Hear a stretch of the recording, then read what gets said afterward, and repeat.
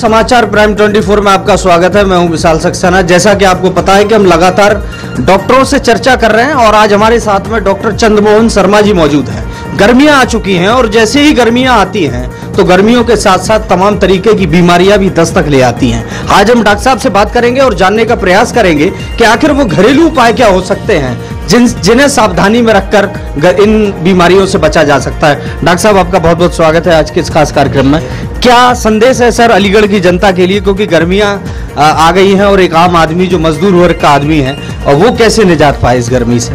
मैं अलीगढ़ की जनता से यही कहना चाहूँगा कि जितने भी मजदूर वर्ग के लोग हैं और जो भी हैं एक्स वाई जेड जो भी मरीज़ हैं जो बच्चे हैं बीमार आजकल हो रहे हैं गर्मियों की वजह से मैं उनसे केवल इतना ही संदेश देगा उनके घर वालों को कि अपने बच्चों को एक तो कभी भी धूप में ना ले जाएँ घर में रखें बाहर की आपे पापे toast, ice cream, cold drink, Kurkure, चुर्री, अटरम सटरम, जितनी भी बाहर की ये चीज़ें हैं, ये ना खिलाएँ।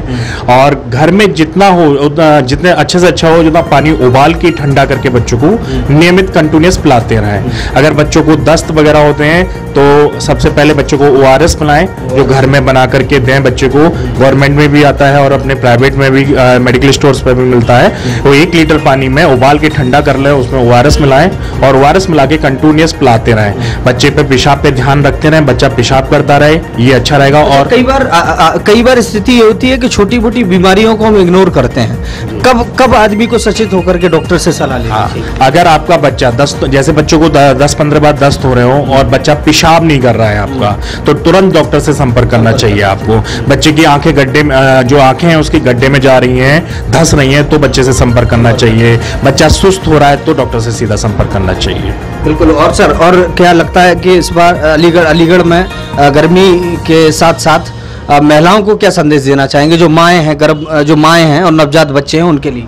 मैं बस बच्चों की माए से यही कहना चाहूँगा कि अपने बच्चों को कहीं भी धूप में ना ले जाएँ कोई भी शादी फ़ंक्शंस वगैरह कहीं भी घर से बाहर ना निकालें घर में रखें और जितना हो बच्चों की केयर करें पानी पिलाएँ और खूब पानी से पानी उबाल के ठंडा करके पिलाते अच्छा खान पान को लेकर के सर बड़ी दिक्कतें रहती हैं। कई बार जंक्स फ़ूड ले लेते हैं। क्या गर्मियों में अवॉइड करना? बिल्कुल जंक फ़ूड तो कभी भी ज़िंदगी में क्या गर्मियों में क्या पूरे टाइम में बच्चों को नहीं देना चाहिए। नहीं देना चाहिए।